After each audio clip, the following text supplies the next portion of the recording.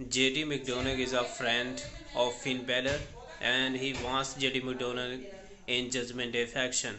But Rhea Ripley is not agreed on JD McDonagh and she said you need to prove that you really worth in Judgment Day.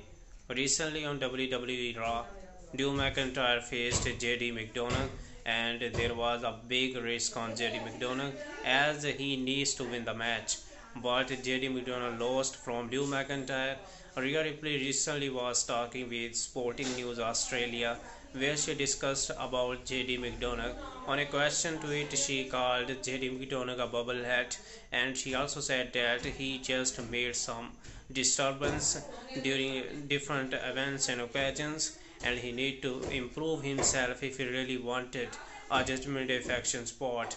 A Rhea Ripley at this time is playing a role as a leader of the Judgment Day faction and she do what she likes and that's why she order everything whenever it come to the other members of the Judgment Day faction.